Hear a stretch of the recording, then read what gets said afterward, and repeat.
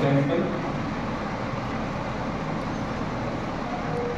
kinetics chemical kinetics total application chapter है। ये हमारा लेबोरेटरी मेथड में कोई यूज़ नहीं इसका। ये टोटल एप्लीकेशन चैप्टर है। इसका यूज़ जो है इंडस्ट्रियल मेथड में केमिकल काइनेटिक्स का। ठीक है? केमिकल का मतलब होता है केमिकल काइनेटिक्स का मतलब होता है रेट कह सकते हैं, या फिर स्पीड ये हमारा काइनेटिक्स है।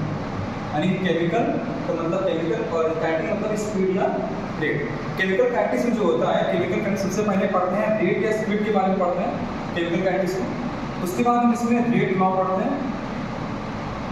रेट लॉ उसके बाद थर्ड टॉपिक हमारा होता है रेट लॉ के बाद हम रेट ऑफ़ रिएक्शन पढ़ते हैं आर ओ आर पढ़ते हैं रेट ऑफ़ रिएक्शन पढ़ते हैं. रेट ऑफ़ रिएक्शन के बाद हम फोर्थ टॉपिक जो हमारा होता है, इसमें ऑर्डर ऑफ़ रिएक्शन पढ़ते हैं. ऑर्डर ऑफ़ रिएक्शन उसके बाद मॉलिकुलरिटी पढ़ते हैं। ये पूरा ओवरव्यू है सेशन का सबसे पहले जो लेसन पढ़ना होता है, वो रेट रेट प्लस स्पीड के बारे में पढ़ते हैं। उसके बाद रेट लॉ पढ़ते हैं रेट ऑफ़ रिएक्शन उसके बाद ऑर्डर ऑफ़ रिएक्शन उसके बाद हम जानते हैं रेट क्या होता है। पहले हम जानते हैं रेट क्या होता है। रेट का मतलब होता है change any concentration with respect to time rate का मतलब होता है change any concentration with respect to time is called rate मतलब कि अगर किसी भी चीज़ की रेट फाइंड करनी हो क्या फाइंड करना हो रेट फाइंड करना हो। तो रेट फाइंड करने का हमारे थ्योरी होती है? होती change any concentration with respect to time मेरे पास कोई रिएक्शन है? मेरे पास कोई रिएक्शन है? रिएक्टेंट से प्रोडक्ट बनना मेरे पास कोई रिएक्शन है? रिएक्टेंट से प्रोडक्ट बनाना हमने माना कि रिएक्टेंट की जो कंसंट्रेशन मेरे पास टेन टेन मोल है।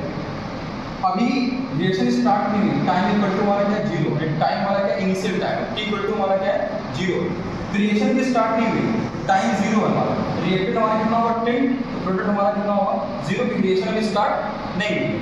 अब टाइम इक्वल टू टी से वन सेकेंड ले लिया। रिएक्शन स्टार्ट हो गई। हमने मान लिया, ये हमारा इसकी कंसंट्रेशन एट हो गई और ये इससे दो कम हुआ। ये दो कम कहा? दो गया कहाँ हुआ? इसके पास। यहाँ से T equal to two second पे ये सिक्स हो जाएगा। ये four T equal to three second पे थ्री सेकेंड ये फोर हो जाएगा six T equal to four second क्या हो जाएगा? ये हमारा हो जाएगा टू ये हमारा हो जाएगा एट और T equal to five second में ज़ीरो और ये हमारा, यानी कंप्लीट रिएक्शन हो गया अब इसमें रेट फाइंड करना है। क्या फाइंड करना है? रेट रेट फाइंड करने के दो तरीके होते हैं। एक रेट ऑफ़ डिसपियर एक रेट ऑफ़ एपियर यानी कि रेट ऑफ़ रिएक्टेंट को रेट ऑफ़ डिसपियर कहते हैं और rate of rate of product को रेट ऑफ़ एपियर कहते हैं। डिसपियर मतलब कोई चीज़ गायब हो रही है। तो गायब कौन हो रहा है? रिएक्टेंट यानी कि रेट ऑफ़ डिसपियर फाइंड करेंगे, वो हमारा रिएक्टेंट के लिए होगा। और रेट ऑफ़ एपियर जो फाइंड करेंगे, वो हमारा प्रोडक्ट के लिए होगा। तो अगर रेट ऑफ़ डिसपियर फाइंड करें इसमें हम, अगर बात करें rate of rate of disappear find करें, या फिर रेट ऑफ़ रिएक्टेंट फाइंड करें। फॉर्मूला क्या होगा? Changing concentration with respect to time तो अगर हमें टाइम दे दिया हमारे पास, हम रिएक्टेंट की रेट ऑफ़ रिएक्टेंट की रेट फाइंड कर रहे हैं। फॉर्मूला क्या होता है? Change in concentration with respect to time तो हमारे पास ये हमने मान लिया इसको आर वन इसको मान लिया हमने आर टू इसको हमने मान लिया टी वन ये हमारा हो गया टी टू यानी कि R one R two T one formula क्या होता है? Del R two minus R one T two minus T del R मेरे पास कितना आर टू मेरे पास कितना फोर आर टू मेरे पास वैल्यू आ गई फोर माइनस आर वन मेरे पास कितना आर वन मेरे पास है एट देन टी टू मेरे पास कितना टी टू मेरे पास है थ्री और टी वन मेरे पास कितना वन थ्री माइनस वन मेरे पास क्या आएगा? Minus four divide by two minus two आएगा रेट कभी भी माइनस में नहीं होती रेट कभी माइनस में नहीं होती इसलिए जब रेट ऑफ़ डिसपियर फाइंड करते हैं, यानी रेट ऑफ़ रिएक्टेंट जब फाइंड करते हैं तो इसके फॉर्मूले में हम एक एक्स्ट्रा माइनस सिंबल ऐड करते हैं। क्या करते हैं? एक एक्स्ट्रा माइनस सिंबल क्या करते हैं? ऐड करते हैं। क्यों? Rate of disappear rate of reactant जो होता है, वो हमारी कभी माइनस में नहीं होती। इसलिए क्या करते हैं? रेट ऑफ़ डिसपियर में या रेट ऑफ़ रिएक्टेंट फाइंड करने में हम एक माइनस सिंबल एक्स्ट्रा ऐड करते हैं। अब अगर हम बात करें rate of appear rate of product की बात करें रेट ऑफ़ एपियर की बात करें यानी कि रेट ऑफ़ प्रोडक्ट की बात करें। तो हमने यहाँ पे रेट ऑफ़ रिएक्टेंट निकाला था। यहाँ पे क्या निकाला? रेट ऑफ़ एपियर निकाला, यानी रेट ऑफ़ प्रोडक्ट फाइंड करा। फॉर्मूला क्या हो जाएगा del P two minus P one del T two minus T del अब सेम टाइम पे निकालेंगे टी वन पे। ये हमारा क्या हो जाएगा? पी वन ये हमारा क्या हो जाएगा? पी टू तो पी टू मेरे पास कितना है? सिक्स और पी वन मेरे पास कितना है? फोर तो हो जाएगा मेरे पास six minus four upon del time हमारा सेम रहेगा, कितना हो जाएगा? थ्री माइनस वन ये हमारा आ गया. सिक्स माइनस फोर कितना हो जाएगा मेरे पास? टू सिक्स माइनस फोर मेरे पास हो जाएगा? टू नीचे कितना आ जाएगा? टू यानी हमारा कितना आ गया?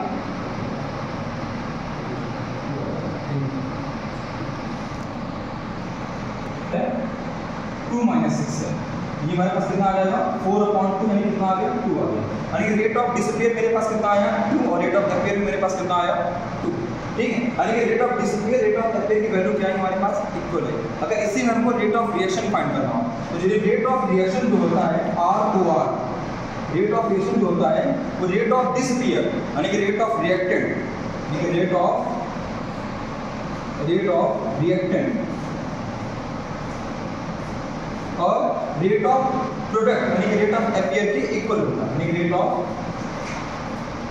rate of product के इक्वल होता है यानी हमको अगर रेट ऑफ़ किसी भी रिएक्शन की रेट ऑफ़ रिएक्शन फाइंड करना है तो जो रेट ऑफ़ रिएक्शन होती है, वो रेट ऑफ़ रिएक्टेंट की और यानी कि रेट ऑफ़ डिसअपियर की रेट ऑफ़ प्रोडक्ट यानी कि रेट ऑफ़ एपियर की क्या होती है हमारी? इक्वल होती है। ये हमने rate of disappear rate of appear की बात की। एक एग्जांपल समझते हैं। N2 plus three H two given by two N S ये मेरे पास रिएक्शन हमें कह रहा है इसमें कि रेट ऑफ़ रिएक्टेंट फाइंड करिए कि रेट ऑफ़ रिएक्टेंट फाइंड करिए और रेट ऑफ़ प्रोडक्ट फाइंड करिए। प्रोडक्ट फाइंड करिए और रेट ऑफ़ रिएक्शन फाइंड करिए। इस क्वेश्चन में तीन चीज़ें फाइंड करेंगे। पहला क्वेश्चन क्या है? रेट ऑफ़ रिएक्टेंट फाइंड पहले रेट ऑफ़ रिएक्टेंट फाइंड करेंगे। रेट ऑफ़ रिएक्टेंट फॉर्मूला क्या होता है change in any concentration with respect to time ये हमारा रिएक्टेंट है, ये हमारा प्रोडक्ट है। तो हमारा क्या हो जाएगा यहाँ पे? डेल रिएक्टेंट का सिंबल लेते हैं माइनस का। N two upon del T तो यहाँ पे क्या हो जाएगा? ये तो rate of reactant of N two आ रहा है ये क्या निकाला? Rate of reactant of N two हमारा क्या आएगा? Rate of reactant of H two क्या हो जाएगा?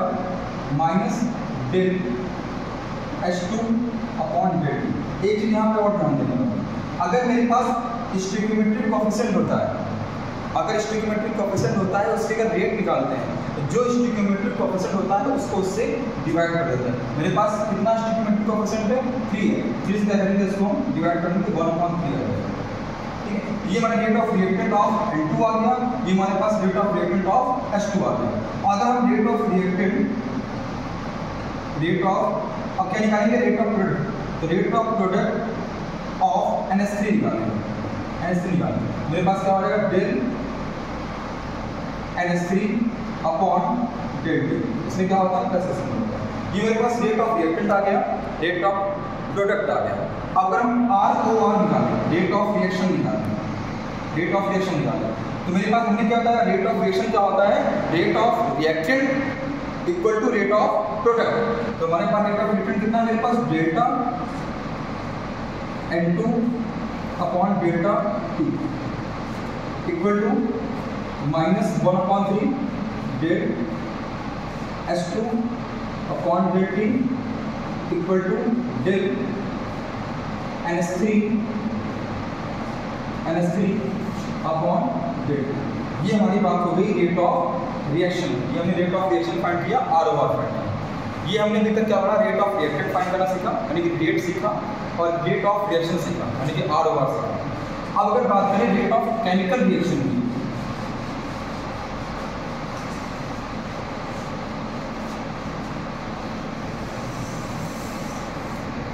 अगर हम बात करें rate of chemical reaction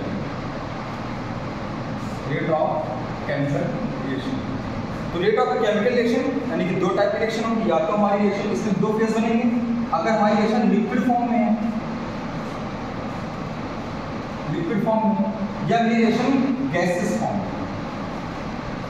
अगर रेट ऑफ़ केमिकल रिएक्शन की बात करें तो इसमें दो पैटर्न बनेंगे। या तो मेरे पास rate of chemical reaction liquid form में हो, या फिर मेरी rate of chemical reaction gases form अगर रेट ऑफ़ केमिकल रिएक्शन मेरी लिक्विड में है जो उसकी जो उसकी रिएक्टेड या प्रोडक्ट में चेंज आएगा तो उसकी कंसंट्रेशन में चेंज आएगा। चेंज कहाँ आएगा?